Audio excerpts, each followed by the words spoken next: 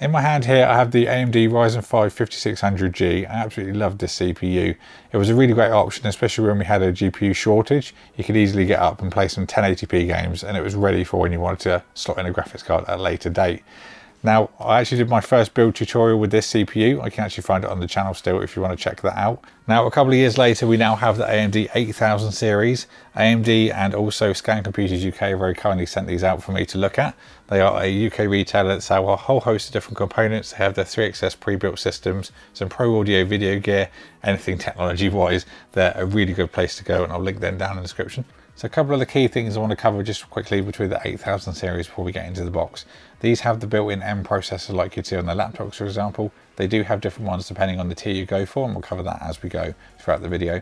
But they basically include the graphics you need to get up and going with 1080p mid, low. We'll of course test them to the maximum potential, but you can just do some gaming straight out of the box plug straight into the back of the motherboard and you don't need to add a graphics card which can be great especially if you're maybe saving up and you want to get on and do a little bit of gaming while you're saving up for that graphics card slot in later or if you're maybe building a system just to work from home and you want to do it on a bit of a budget this can be a great way to get some graphics in there without needing to add an additional graphics card which can obviously be quite expensive the second thing is that the 8000 series only supports up to gen 5 for graphics and storage I don't really think that's going to be a problem though because Gen 4 is a real nice sweet spot. It's not like when we had the Gen 3 limitation on the 5600G where there was a real big change from generation to generation. But now Gen 4 is so fast and affordable, I really don't think there's going to be a problem there anyway. So let's get into the nitty gritty and talk about the cores and the clocks of these processors. On the left hand side we've got the 8500G which will be a 6 core and 12 thread processor. We have got a 3.5 GHz base clock and then a 5 GHz boost clock. This is using the AMD Radeon 740M graphics. This will retail for $176. In the middle we've got the Ryzen 5 8600G. This is a 6 core 12 thread again with a little bit of a bump on the base clock up to 4.3 GHz then a boost of 5 GHz again. This one's using the Radeon 760M graphics and will retail for 229 Then we have the top of the stack which is the Ryzen 7 8700G. This is an 8 core 16 thread processor we have a 4.2 GHz base clock and a 5.1 GHz boost clock, and that's using the Radeon 780M graphics, which will retail for 329 So quite a lot of waffle at the start, but I wanted to give you all the key specs and things you needed to know. Now let's get into the box. So all out of the boxes now, and as you can see, they do all have an included cooler, which is a nice little bonus. I will test all of these with the included coolers as well, so you can get an idea of what you could expect if you're going to run one of these at home. All of these have got a pre-applied thermal paste on the back. I'll use this with the processors too, so I'm not, I'm not going to change anything about it. I'll keep the same thermal paste as well. When it comes to the Ryzen 7 Spire, a little bit thicker than the other two, but it does have an additional two cores and four threads. These are all a standard four pin header as well for PWM control. I think it's really nice that you can run these with the stock coolers. That's one thing I've always liked about the G series. Don't run very hot, so you can use them with these. And then again, saves you extra money in the long run as well. So just putting these to the side to talk about the test system. I would usually use my graphics card test bench, but that is on the AM4 platform. So of course we're gonna to have to change things a little bit for AM5, but I'm gonna be using the Asus TUF Gaming B650 Plus Wi-Fi.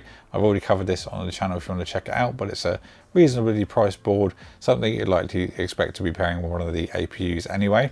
Then we're going to be using a Samsung 980 Pro, which is a Gen 4 1TB NVMe. This is a really great price performance drive, so something that you'll likely use with one of these processors anyway. Then last but not least, I've got 32 gig of Kingston Fury Beast DDR5. These are 5200 mega transfers and CAS latency 40, no RGB as well, so at the time of recording on Amazon, they're a more affordable kit, so I've tried to keep it a bit more budget orientated.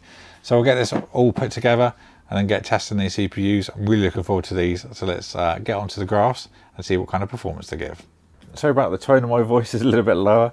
I've lost my voice a little bit since I recorded the intro, but I have tested all the CPUs and I've got a lot to talk to you about. So I've put all the parts into the Corsair 4000X, which is my usual cooler test system. All of the fans are at 1600 RPM with fan speed reducers, so it's nice and consistent for all the thermal tests.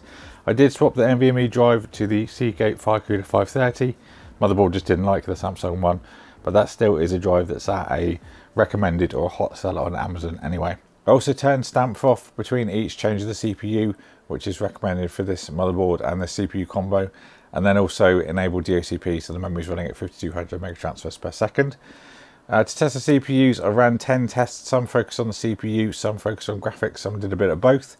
And then I put them in through my spreadsheets and then made some graphs I could usually see from my GPU results. First of all, I've got four tests that are free to download, so should you wish you can download these and then test your systems to compare. We've got 3D Mark, which is a free demo on Steam, Geekbench 5, Blender Render Test and Cinebench R23. As expected from the core and clock changes, we see an incremental change throughout all of the tests over the different CPUs, with a very nice jump on the CPU score when it comes to the 8700G, where those two extra cores and four threads make a lot of difference. Moving on to gaming, I've used five of my usual benchmarks games and also added another which I feel will be more suited to a case like this. Starting off with Apex Legends using 1080p low, even on the 8500G we see a pretty usable 56 FPS average and a steady increase throughout the SKUs. If you're used to 60 FPS console gaming, then you'll certainly feel at home here.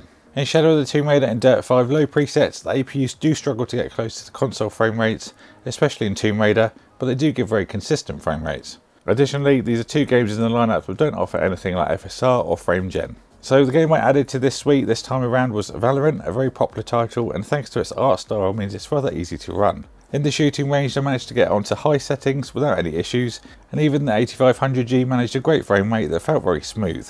Now it is worth saying that even though the minimum and the 1% lows are drastically different to the averages, it didn't feel like that as I was playing. Now that being said, I did use the shooting ranges, that was something I could recreate easily between runs, so in multiplayer you might need to drop the settings down a little bit. The last two games are by far the most intensive, the first being Starfield which is one game that even expensive GPUs have struggled with. At low the APU struggle in raw performance alone, but thankfully being an AMD product we can flick on FSR and FrameGen, giving about half the performance again. As you can see, even with FSR and FrameGen, the 8500G had a hard time and it felt a little bit laggy. The other two felt comfortable, not buttery smooth, but certainly usable.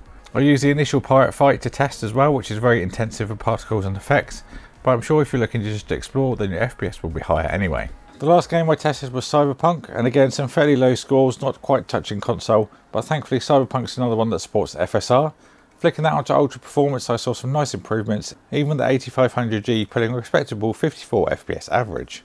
Now like anything when it comes to gaming, some GPUs just do better in some titles than others, and that's certainly the case here. Clearly though, having FSR is a massive benefit, especially with titles like Cyberpunk which are very intensive.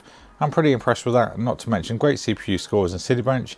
In terms of heat from these CPUs, I've got a chart for that too. The 8600G and the 8700G, I did see some hotter temps, but nothing of concern, plus I'm using a stock cooler. If you're primarily doing intensive CPU tasks with this, then I recommend you get a third party cooler, just keep the overall temps a bit lower.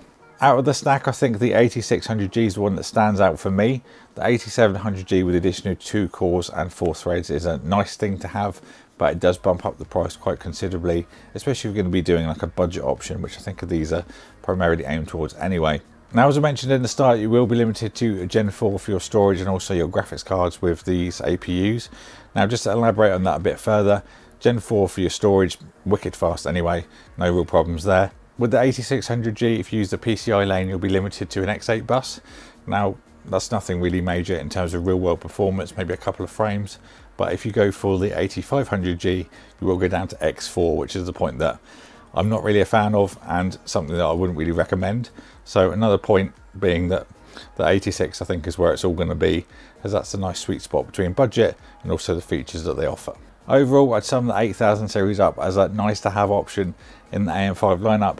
Great for budget builds. Maybe if you're doing a media center PC or a budget living room gaming PC, future video, hint hint, um, then there'd be a good option for that. Or if you simply just don't need a graphics card, you can save yourself quite a chunk of change uh, by not having to buy one. So I'll leave the links for these in the description box below if you want to pick one up. Of course, any more questions, do leave them down below and I'll get back to you as soon as possible. Thank you, of course, to AMD and Scan for sending these out for me to look at. I will be doing some follow-ups with this as well. We might delve a little bit deeper. Maybe we can try overclocking one as well, see what happens. So if you want to see anything like that, then get subscribed and ding the bell, especially if you enjoyed this video. Thank you all for watching, and I'll see you all in the next one.